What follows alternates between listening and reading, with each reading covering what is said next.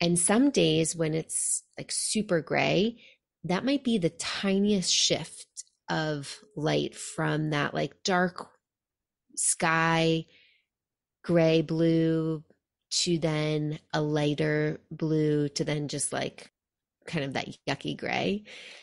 And even just seeing that light shift to me is like, ah, like it it feels like candy for my eyes. And I feel that energy like go into my body. And I just feel way more connected to the world. I feel the fresh air on my skin. I feel the elements on my skin. I feel alive and connected to to time.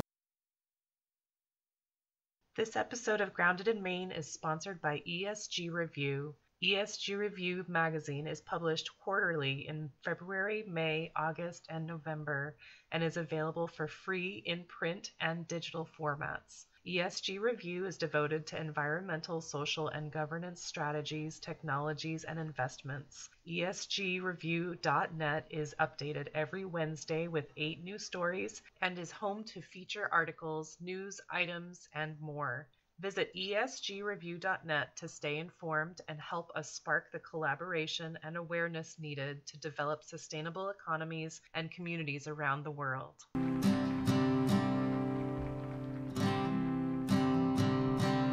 There's a place where there's no trouble, no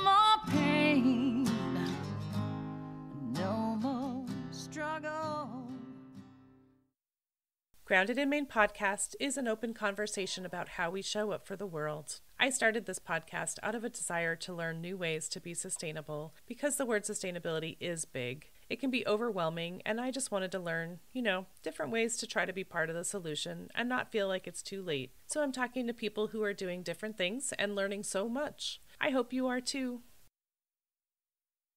Hi there. Thank you so much for listening to Grounded in Maine today. My name is Amy Fagan, and my guest today is Wade Brill. Wade is a podcaster. She has what how long she said 2018, I think. 2018 she started her podcast she's been podcasting for a while and uh, she is in seattle and uh, she's super cool we had a great time uh, we met in a podcast workshop that i, I want to say we were in the same workshop a couple of times and just since then we've just been supporting each other on on instagram and uh, she's just she has such great posts. I, I just I just love everything she's doing, and uh, she had this great idea to do a podcast swap. So we've had uh, the day that we recorded, we'd recorded both together. So she interviewed me, and I interviewed her, and it was so great to get to know her better. Uh, because in a workshop you can only do so much. I thought it was really fun. She has had she's had some really big stuff in her life, and I think that she's centered. We can say centered because her podcast is called Centered in the City.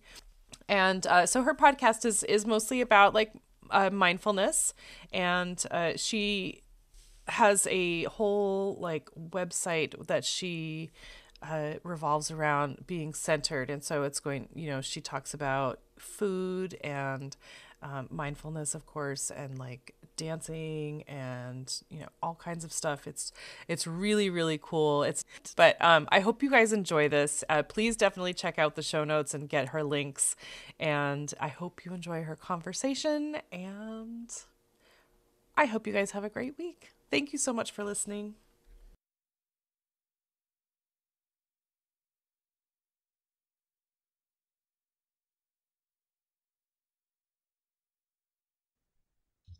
Today, my guest is Wade Brill. Wade and I met in a podcasting group called One Stone Creative with Megan Dougherty. Shout out, Megan. Woo woo. also a guest on my podcast the last year. Um, we love Megan and uh, Wade and I met in her group and just kind of vibed. And we have um, we have very similar podcast titles ish or kind of um, yeah, ish. And uh, so we are we're playing today. We're doing a we're doing a um twofer. So Wade, thanks so much for hanging out and uh, for this great idea. It's super fun. I'm so excited. It's back to back podcasting. I love it.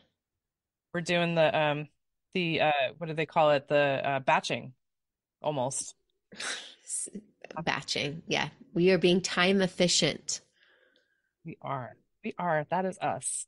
Uh and so Wade lives in, you said in Seattle. Seattle. Close. Pacific Northwest. Northwest. Okay. Yes. And uh, Wade's podcast is called Centered in the City, and it is about, tell us about Centered in the City, please. Yeah. So Centered in the City is a podcast I created in 2017 that originally was a place for meditations where I could share my meditations and, and make them accessible for people. And during the pandemic, it expanded to having these conversations with friends, individuals, thought leaders, authors, creatives around what does it mean to be centered as we live our lives in these cities and city meaning literal city, but also figurative city of these busy modern lives where we're just running at hyper speeds and we're hyper connected and how do we find our center when things are really loud? So it's all about how do we connect back to self? How do we find our center in our personal and professional life? 2017. Holy crap, man. Yeah, long time. I'm like, what year is it? You're seven? I guess so. wow. That's amazing. Uh, and so, wow. Uh, but so Wade, you had some sustainability things that you wanted to chat about. So one is managing your energy, which boy, do we need that because we're always just like go, go, go and burning the candle at both ends, right? So what do you suggest for that? Yeah, I mean, big, big question, big topic. When we think about energy management, you know, I think it comes from many different levels and, and perspectives. But when we're energy conscious, when we're thinking about life, everything has an energetic vibration. And you can think that's woo woo, but it's really not. It's kind of physics. Like everything has that sense of um, energy and impact and and vibration and so that even is connected to our thoughts and our emotions and so when we're conscious of the energy that we create internally, our thoughts and our emotions and our sensations, and then also what's the energy that we create externally? What do we do with our with our actions, with our bodies? How do we be in the world and interact in the world? And all of it has, you know, an energetic impact, and we can be conscious to what energy are we cultivating internally and externally, or we can live these unconscious autopilot earmuff blinder life where we're just kind of moving or plowing through. And when we can be conscious of what energy we're creating for ourselves, it can then really affect how we show up in life. It can affect our health, it can affect our well being, it can affect our relationships.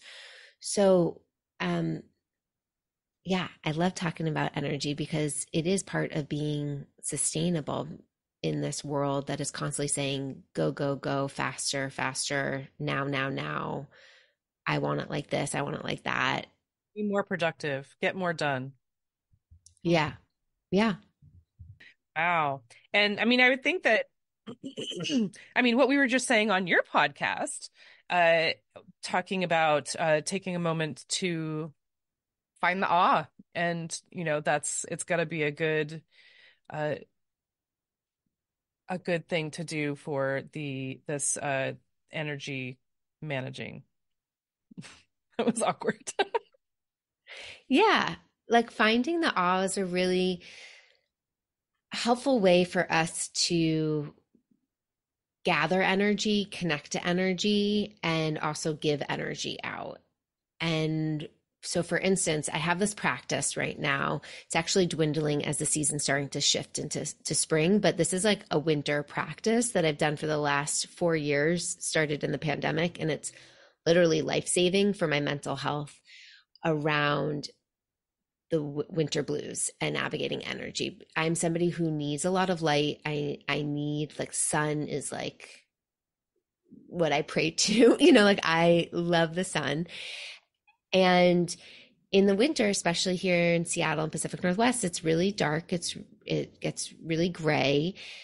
And I have this practice called sunrise chasing that I get up and out the door to catch the beginning glimmers of the sunlight. And some days when it's like super gray, that might be the tiniest shift of light from that like dark sky, gray blue to then a lighter blue to then just like kind of that yucky gray. And even just seeing that light shift to me is like, ah like it it feels like candy for my eyes and i feel that energy like go into my body and i just feel way more connected to the world. I feel the fresh air on my skin. I feel the elements on my skin. I feel alive and connected to to time. And then that fills my body up with energy. And then i'm bringing that energy into my interaction as i go back home with my husband or my clients when i'm having coaching calls. And i feel just way more connected. And then especially when it's like a drop dead gorgeous sunrise it's like holy shit this world is a miracle. And i actually notice as i'm starting to to not do it as much as the season's shifting, it's become kind of like dopamine. Like I'm like sad I'm not doing it. I'm like, oh, I'm missing out on the sunrise. Like, you know, having now a little FOMO for it. Um, but it gives me and it also creates this like wonder, childhood wonder of like, oh, what's the sunrise gonna be? Because every day it's different. Mm-hmm. And so there's that curiosity and I just get excited to get out the door. So, anyway, that's a practice that has created a lot of energy for me during the winter and connects me to awe, connects me to the beauty and simplicity of nature. Wow, your description of that Wade sound it it like I could feel it. I could feel it. Like it was like I could it was like shimmering, like rain was like shimmering down. I could it was it was almost like glitter. That was really I love that. I'm glad you could feel it. See, that's energy there, right? You could feel those sensations. That was a really good description. Thank you. uh, and that sounds like a really good practice. I mean, that's not that outrageous. and no, I mean, especially in the winter months when, I mean, you live up pretty north too. Like the sun isn't rising at 6 a.m., where you have to get up at a ridiculous hour to get out the door. I am noticing as the sun is now rising at like 6:57, I'm like, that's a little too early. Even though I'm getting up still around 6, 6:30, like I have some practices that I like to do before I get outside. So I'm just noticing like, okay, this is my winter, my winter ritual. Wow. Yeah. I mean, we watch the sunrise from the breakfast table through the window. That's but, great though. Even taking that moment to like pause and connect to it. I mean, we do it. We watch the birds in the morning because they're right outside the window, and yeah, we we do a lot of the nature stuff here. but so that's really great. I mean, to it's like keeping yourself in check. Like you know, you can go go go go go go go, but if you if you keep that in check and just stop yourself every so often and just like like reassess or yeah and and to circling us back to this energy management piece you know a lot of the times we do just have our foot on the gas pedal and we're going. And we don't think of ourselves our mind our body our our emotional body our spiritual body as a car or vehicle that like needs it's oil checked and it needs to its gas to be refilled and it needs you know its brakes to be tightened and it needs to be cleaned and right like we forget of the maintenance that our systems require and i think we've gotten so accustomed to seeing ourselves like technology, like the computers in front of us. Like they run all the time. They have 15 tabs open. I don't know about you, but my computer does. Like oh, that's that's how my mind should be and my body should be. And we start to kind of train ourselves to be a little machine and we forget that it's so it, it's taking us away from actually our nature it's taking us away from our own natural rhythms and obviously thanks to capitalism you know it's kind of pushing us into how can we be an efficiency puzzle piece in this whole system. And that has its own issues. And so you know okay where can we take personal responsibility? Yes we can work to change the larger system and we have the individual personal responsibility to be caring for self and each other. Right. Oh my gosh. Yeah that's a whole separate conversation. Yes that's a whole yeah whole other thing. Right uh, and so another thing that you have recently done you said that you sold your car Ooh, that's a big deal and you're not in new york city but you are in seattle Correct. So I'm a born and raised New Yorker who didn't get her license until I was 19. And I've never really owned a car until um, my husband and I got, and he he's owned cars. We had a car, but then anyway, we owned a car together. Um, like three years ago during the pandemic, we got one, and I really was then learning to drive and feel comfortable parking by myself and going on bridges and highways. And so, like, this is, you know, as a 30 plus year old, I won't reveal my full age, you know, this was like a new skill I was flexing, very stretchy for me. However, we decided to get rid of our car for various reasons um, and thought we would maybe get a, another car. But we were traveling for six weeks. And so we are like, okay, let's get rid of our cars so we don't have to deal with it while we're gone. And while we were gone, we were in Europe where we spent a lot of time in Amsterdam where they were biking everywhere. And we're big bikers, walkers, public transportation people. And I remember my world just opened to like how possible it is. It's just about training your mindset. And I would see like we were biking around one day and it was pouring rain. And I was like this is miserable. And about half an hour into it I had this mindset switch of like you know what? I'm wet. Who cares like I'm wet it's a little uncomfortable but like who cares? And I'd see everybody else around me all these Dutch faces like smiling live in it just do would you say? They're all so wet. Yeah, exactly. And they're just like they're living it and they're these little kids, you know, 2 years old sitting on the front of these bikes just like handling it, you know, whereas I would think of a kid in the states, they would probably be like crying and you know because they're just conditioned to being super comfortable all the time and i when we got back i just was like let's try to just use our bikes because we both work from home. We weren't really using our car that much. Yes, it's great for convenience.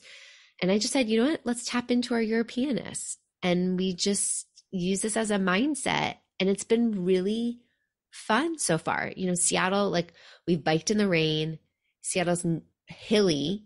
It's not necessarily the easiest place to bike, but it's created this connection to the elements and the environment that has actually given me so so much energy it's made me feel alive it's made me feel like more gratitude for even the weather when it's not that great and it's been fun it feels like an adventure traveling from a to b you're bringing a little bit of europe to seattle yeah you know class of classing it up feel maybe people will follow your lead. That'd be fun. Do you have um, public transport? Yeah, Seattle. I mean, Seattle. There's a lot of bikers. You know, we're this is a big city that um, is pretty environmentally conscious. A lot of people even have like electric bikes. Um, Seattle does have transportation. As a New Yorker, I can be a little critical of their transportation just because New York City's transportation is amazing. You know, you can get anywhere in 15, 20 minutes. Seattle, it's slow to get there, but it does have a light rail, it does have a bus system.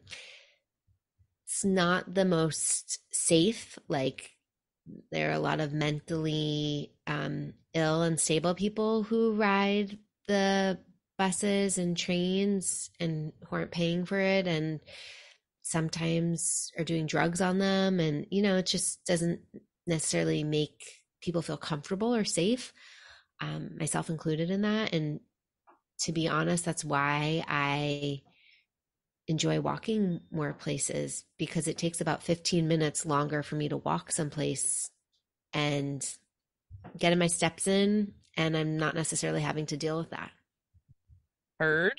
Okay. Cool. Um, I I wish that um my area was a little bit better that way. We have a bus that doesn't run a lot. Um, yeah it takes like a lot of of organization to to time public transportation if it's not in a bigger metropolitan city Yeah. and like where I am, it's not really a safe ride bike wise to get there. I mean, it's it's a six minute drive. It'd probably be close to half hour, maybe bike ride. I don't know. I don't ride bikes, but um, just to get to the bus, to get to the bus, um, it would take a lot for me. But uh, yeah you're in a, a place in the world that's pretty remote you know there's it's hard it's even hard in like a city that does have right, access to these things and it does take more planning I just only drive twice. I only go out twice. Um, that's that's my uh, justification. uh, but I love that. I mean, that's I think that I think that would be cool to to see to like be a fly on the wall, sort of like so to speak, to see if people are like, oh, that looks kind of like they're enjoying that. I wonder if I might enjoy that. Maybe I should bike. it's, it, it- the energy you bring into it's contagious. You know, I've even started to, if we're biking to dinner to meet friends or something, I put on lipstick, and I'm like, I'm gonna be a cute biker. You know, I'm I'm not just gonna feel schlumpy biking, even though I'm gonna get sweaty because of these hills. I am gonna look cute or have a change of outfit when I arrive, or you know, do something that makes it actually fit into my lifestyle. Awesome. Good for you. Do you have a um do you have a big granny seat on your bike or no? No? No, what's a granny seat? Big fat bike seat for your butt. Mm, no, I have um I don't know, a pretty standard one. You know, when I haven't biked in a while and then I bike, I'm always like, oh yeah, that's what the biking soreness feels like. I will say in Amsterdam, you know, they have a lot of bike stores, and we walked into one that showed us there's this like bike that's just a, um, a bike seat that's just circular for women so that they can wear skirts while they bike, Hmm. and that the skirt, you know, isn't getting like Okay. spread Well, open wide. Yeah. And I was like, interesting. And supposedly it's like a French design. So there's a whole world of biking apparati that is out there that I don't even know, you know, that we don't even know as I think Americans. I would not even dream of wearing a skirt to bike, but I mean, people in Amsterdam, I was shocked. People are wearing heels while biking. Like they, you know, are wearing suits. Like it is just a, and again, very different system and they do it where all the it's time. flat. Yeah. Yeah. They do it all the time, so they they have to wear what they're wearing. But it, it, it proves, you know, it's like when you grow up doing something or you're accustomed to it and it's around you, it becomes it becomes the thing. Like it's not this outlandish act. That's awesome. I love it. I mean, I did we we biked in um biked in Charleston. We rode those um what do they call it? The beach cruisers. That was not awful. I didn't hate that. It's the I think it's like the mountain bikes with the all the gears and stuff that I don't like. It's also the like click click click click click that's like miserable. But Mm. and maybe handbrakes. Hmm Maybe it's me being uncoordinated. I like the hand brakes. I don't like the back pedal brake. That to me is a whole other thing. But um, you know, you do you. That's why they have different styles. I just want to be where it's flat and I want a big fat seat so I don't hurt my bum. Hang out for just a quick moment for an ad break. Are you struggling to manage your personal finances on top of everything else? Say hello to Coach Connor. Get tailored support to finally conquer the financial stress. It's time to take control and pave the way for a brighter financial future. Reach out to Coach Connor at Progress Solutions now and start your transformation. See the link in the show notes for how to reach Coach Connor. Let's see. So you taught you told us about your your winter practice, but what do you do? What kind of um what kind of practices do you do in the spring or the summer? Like, is it very different, or do you have like, is it mostly energy, or is it what are you doing? Yeah. Well, you know, energy is is something that I just like to be conscious of from like what food am I feeding myself, knowing that if there's like a day that I'm going and eating thing like no vegetables, I will feel that. Like I will feel the the impact of of that on my mind and my body. And one of the reasons you know I love cooking with color is not only because it's really good for you and you're getting a whole bunch of nutrients with with the diversity of color, but I feel like I can feel the energy of the different the the chi of the different fruits and vegetables in my system. And so I pay attention to what do I feed myself? And let's be clear, like I still like my pastries, my croissants, my chocolate, like that all has energy in it too. And and that's a balance, you know, of figuring and paying attention to when when my body's wanting what. Um my other practices that are really helpful for me to just even notice and gain awareness of what's happening internally and externally is my meditation practice. And I've had a consistent meditation practice for a long time. Um, since since I was um I'd say about 21. And I have obviously had phases where I've dipped out of it, but having a morning meditation practice is like this thing that gets me grounded. It helps me feel connected to myself. It helps me build awareness of like what's happening in my mind and my body and my emotional body. And it helps me also get some space from some of the stories or the things that are feeling really congested or all encompassing. It helps me create a little bit of more space so I can understand, you know, what's mine and what's not mine. Um, I'm somebody who's very sensitive to things and people and energy. And, and so just even being conscious of like, again, what's here? What's here for me to pay attention to? What's here for me to be mindful of? Um, and then I have other practices like journaling and Pilates and walks that I do no matter the season. Um, and almost every day, if not every other day. And those are just really staples that help me connect to my body, help me connect to my inner strength, help me connect to my inner voice.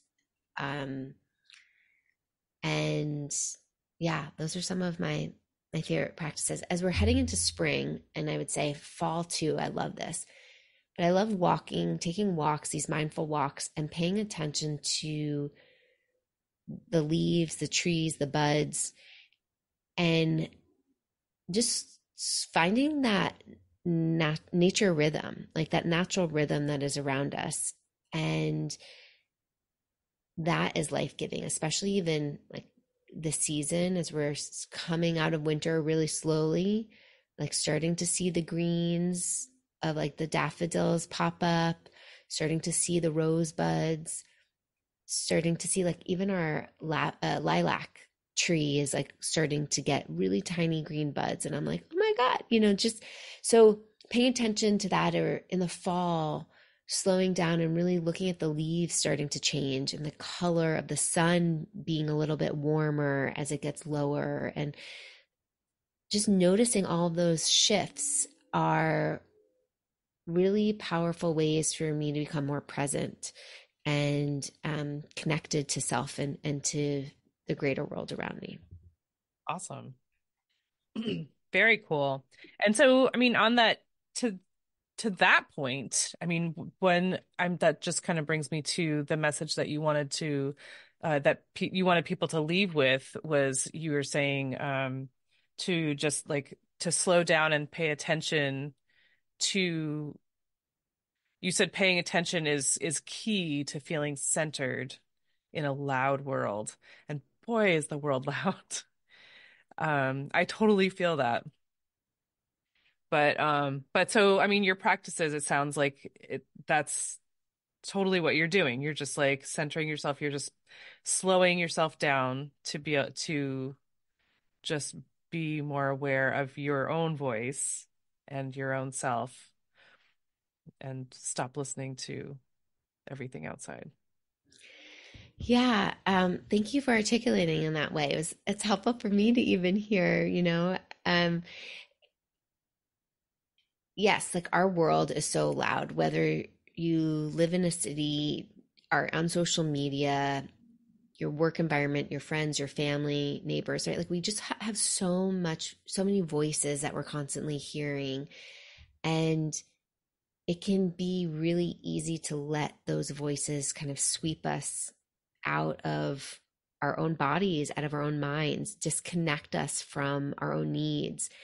And these centering practices the intention behind them is to yeah bring us to the present moment to connect us inward so we can live more intentionally outwards um and i was sitting actually in my meditation practice the other day and i was listening to myself and i got this like whisper of like slow down. And i was like what? I feel like i'm going pretty slow. Like what's you know like what what are you talking about? You know and i was sat with this question and was trying to like understand it and and and be curious with it. And i realized sometimes it's not just like what am i doing and what am i scheduling in my life? Like how busy am i making myself on the outside?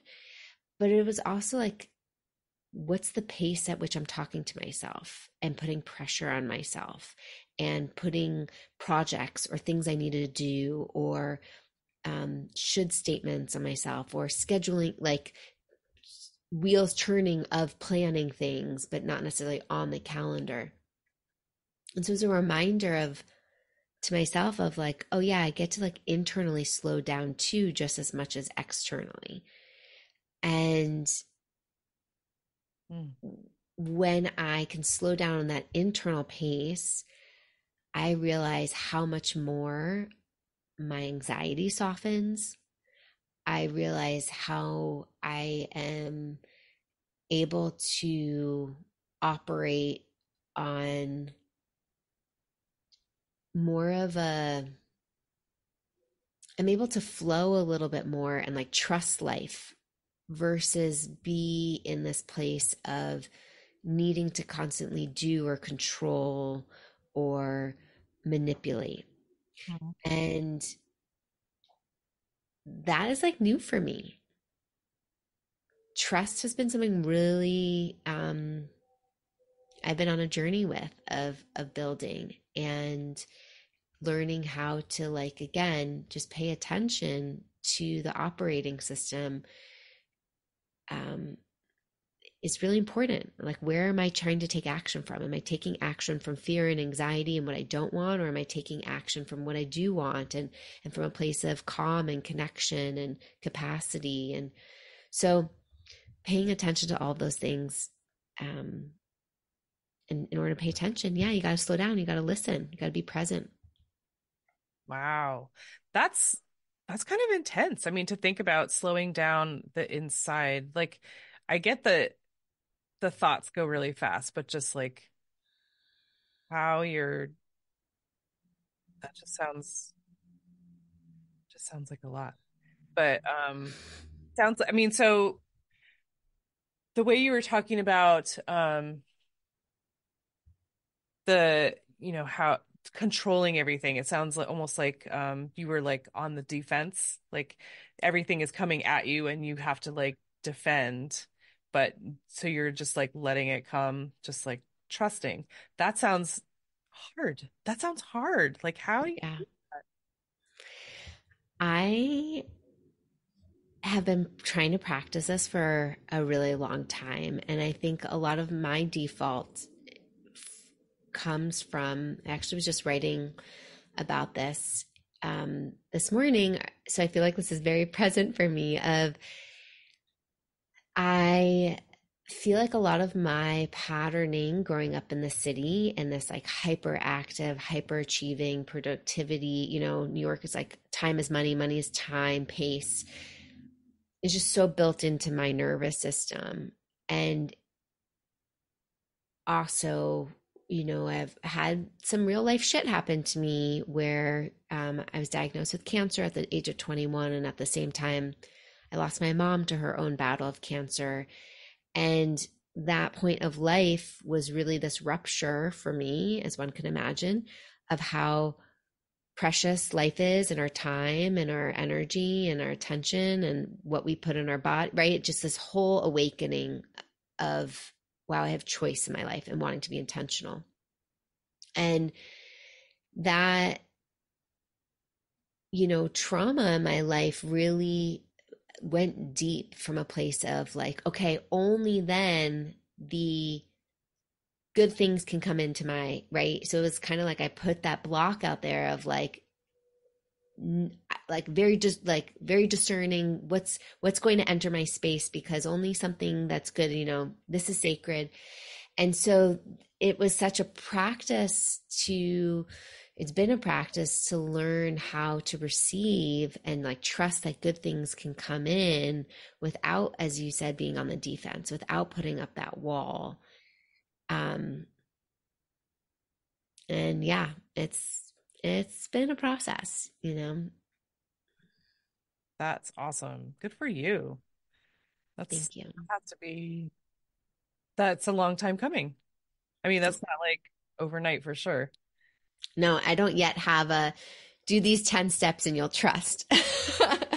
I'd say the biggest thing that that if somebody is interested in exploring trust is just to even start to get clear on like what does trust feel like? And how can you just even connect to more of that felt sensation from a somatic place more often?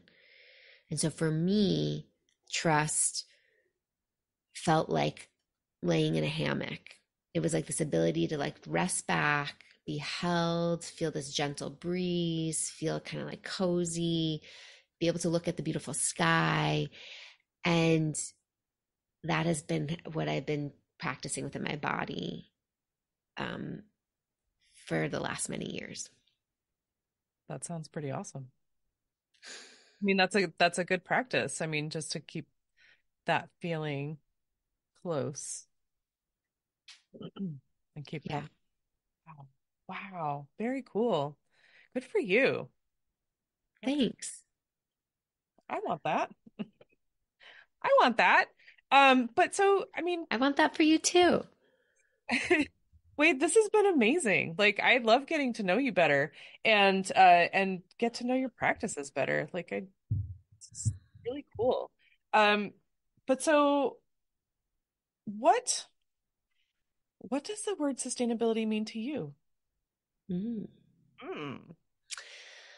sustainability means being conscious of how what I'm expending. And so maybe put in some other words like it's being conscious of like when when to speed up when to slow down when to you know when to how do i want to be like managing like how do i just want to be like conscious of of the actions that are happening so in terms of even like sustainability on this larger scale of environmental sustainability you know it's just even thinking about how am i being conscious of again like what energy is being consumed from my vegetables being raised by farmers and the the miles they've traveled to the hands like that are picking it to um to recognizing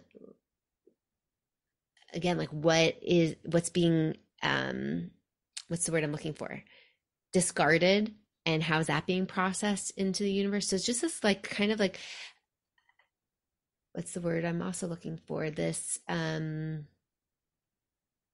what's that symbol that goes like this? Infinity?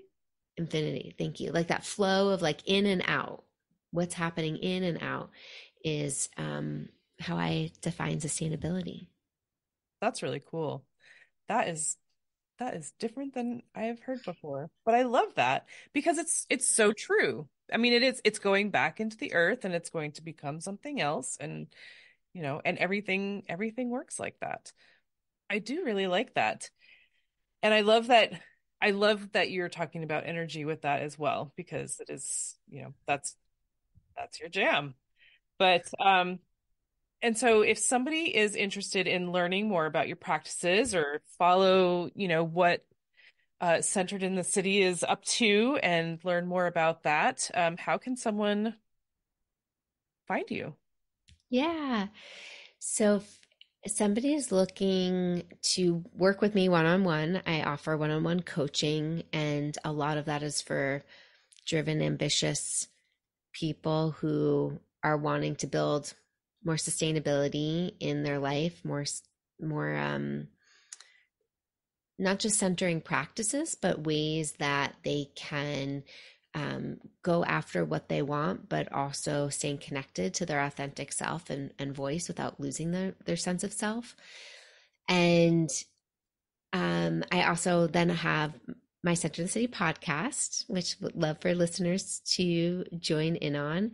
And with that, I have a centeredinthecity.com platform, which is a whole bunch, like over 200 different holistic mindfulness resources and practices that people can check out and play with from mindful cooking and mindful eating recipes to meditations to Pilates flows to journaling prompts. Everything there is designed to help people come back to their center, to take that time to pause and think about how do they want to feel and, and be in this world. Awesome. That sounds like everything that anyone needs. I hope so. You know, during the pa- it was birthed during the pandemic because I was like, I was hearing people like YouTube for this and go to Instagram for this and and I just like I just want people have this centered space where they can just go in and like take a deep breath and come back to themselves. Right. So that's centerinthecity.com if you want to check it out um, or join me on Instagram at one Wade. Very cool. And I will have links in the show notes, folks. But um, Wade, thank you so much. I appreciate this this journey. This is amazing. And um, I appreciate your time so much. Thanks, Amy. Thanks for having me on. It's fun to be a guest. I just want to take a second to thank my guest again for for speaking with me and sharing such great information. I love having these conversations with folks. Uh, I also want to thank Buzzsprout for hosting the podcast, for Jane Bolduck and her music genius, for Becca Coffron and her award winning artwork. And thank you for listening. I appreciate that so much. Uh, please check out the show notes for any links and extra information. Uh, and uh, if you would like to follow my guest and uh, find out more about them, I'm sure they would love the the follow. Um, and if you would, if you don't mind leaving a rating or review wherever you're listening, uh, and just help to get this podcast in front of new eyes. That would be amazing. I would really love that. And uh, feel free to reach out to me on the socials and uh, let me know what you're thinking. And if you would like to be a guest on the podcast, please let me know that. I would love to have a conversation with you about sustainability. All right. Uh, thank you again. I hope you have a great rest of the week. There'll come a day, my mama told me, when I find love to have and hold me, a heart that's strong and so sincere. Just tell me how do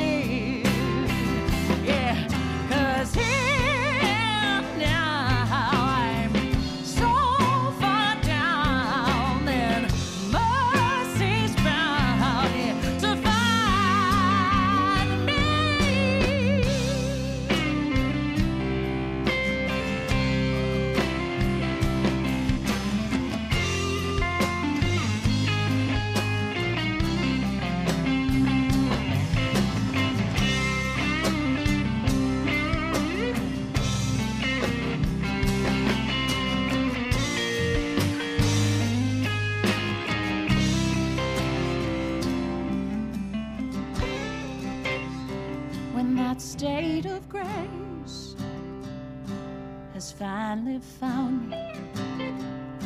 Will there be music? Ooh, and good friends around me. Yeah, yeah. And I'll just smile through happy tears and wonder